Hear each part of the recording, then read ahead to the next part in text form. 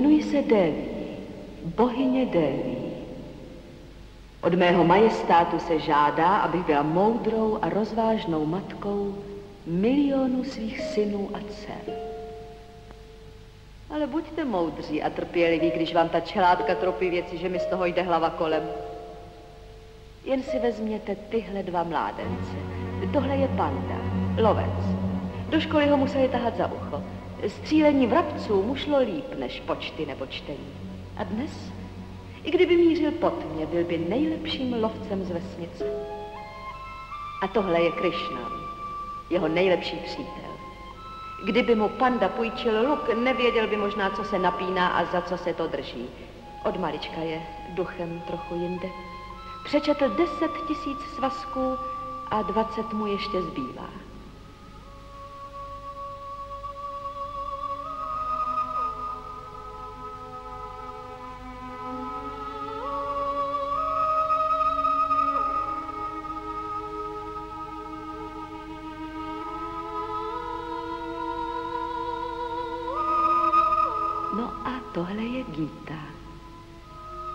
Říkáte? Hezká, že? Dokonce moc hezká. A já hned tak něco nepochválím. Ale tahle holka má vážně něco do sebe. To nevinné čelo, ty vášnivé oči. A tak se nedivte, že Krišnan, potrefený šípem kolegy boha Kamu, byl od této chvíle jako vyměněný. Ono se řekne láska.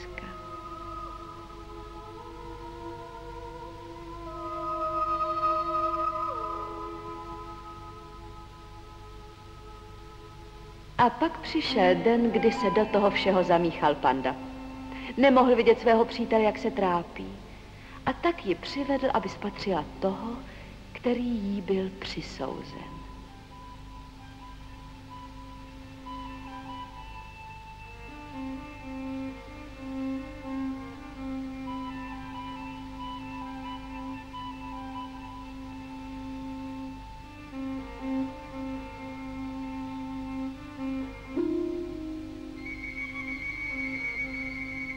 A když pak byly jejich ruce pokropeny růžovým olejem a vodou z gangu, nezbývalo mě nic jiného, než jim dát své požehnání.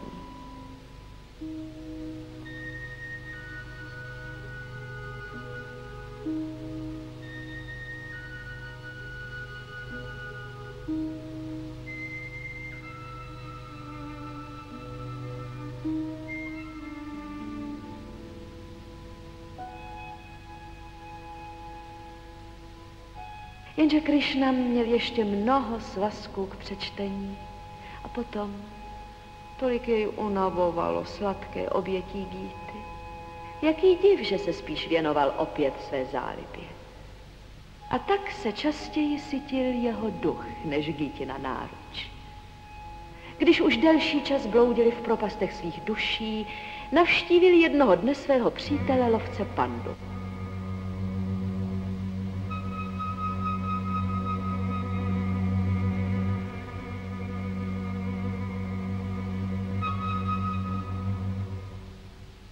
A zatímco Krišnan hledal svou cestu v rozjímání, Gita, ta potvůrka, no to už by ani nebyla ona, našla jinou cestu z hlubin své duše. A panda to byl, kdo jí k tomu měl pomoci. Jak by se mohla mílit? A přece se zmílila. Neboť Krišnan, vyrušen z rozjímání, spatřil to, co spatřit neměl. Jeho mysl zaplavila krev zklamání a smutku a jeho duše zaplavila bouře lítosti.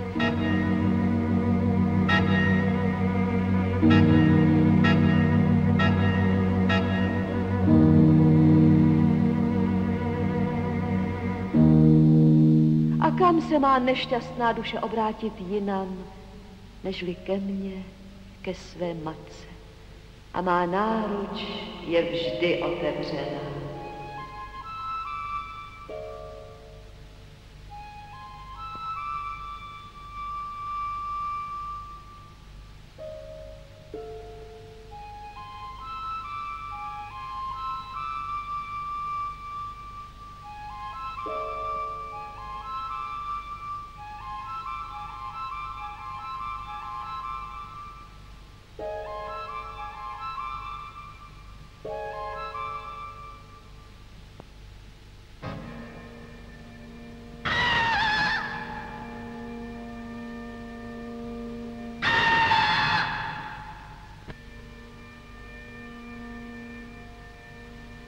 Těm dvěma pošetilcům začalo být divné, kdeže je Krišnan.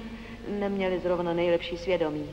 A tak panda, ještě, že ho to napadlo, šel ho hledat a pochopitelně, že zrovna ke mně.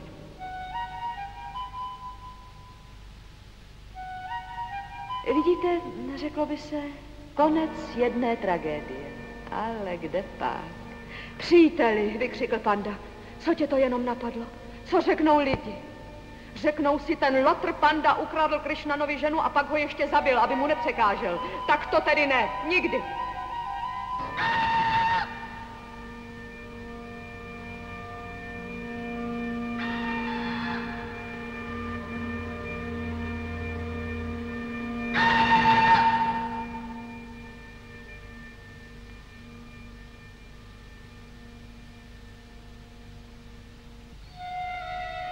O bohové, o nebesa začala ječet Gita. To je můj konec. Manžel je v pánu, milenec jak vysmet. Co si řeknou lidi? Je to dvojnásobná vražednice. Všechno svědčí proti mně. Zbývá mi jediné řešení.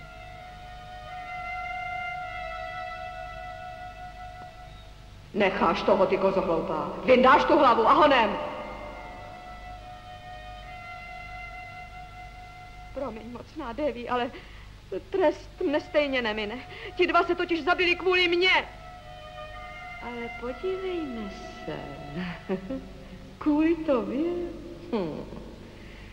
A nejsi ty kapánek domýšlivá, co? Nevidíš, Náno, že oba leží přede mnou? Přinesli mi oběť. No to je toho. Mocná bohyně, ale moje svědomí se tím nestane o nic čistší.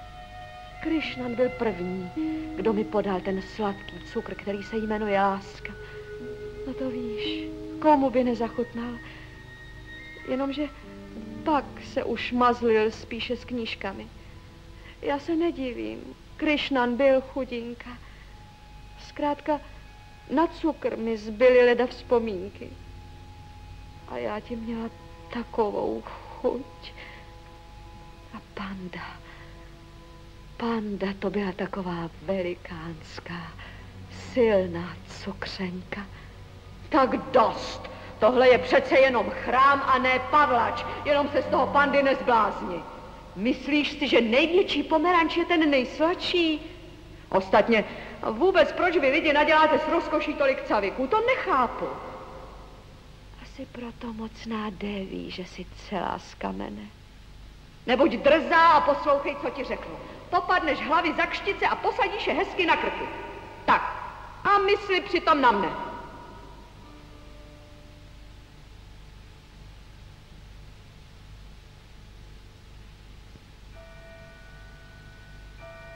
Nedivte se. Ženská. To ani nemohlo jinak dopadnout.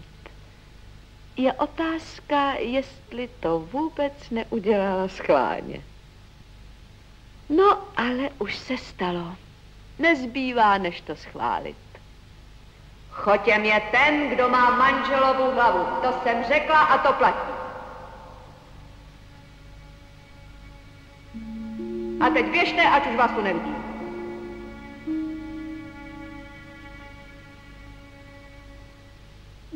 No a tak jsem si myslela, že je všechno v nejlepším pořádku. Ale i božský rozum se může mílit.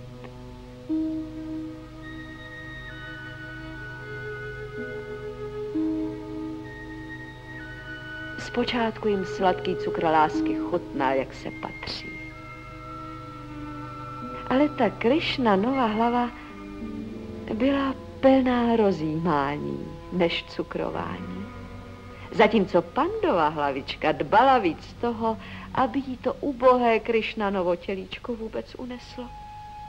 Ušlechtilá hlava dumala a rozjímala a tělo přitom chřadlo a chřadlo. A Gita to nesla se žalem a stále častěji jí tanulo na mysli silné, možné tělo.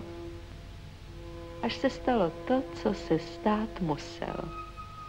Gita se vydala na zdař Bůh lesu a náhle vidí to, o čem zase jenom sněla.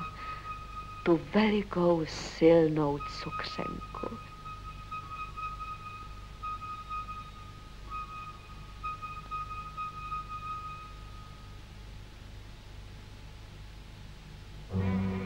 A Krýšnem spatřil to, co zase spatřit neměl.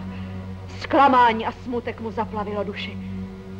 A tak se znovu obrátil ke mně, ke své matce. A ten hlupák panda také, aby se to nepletlo.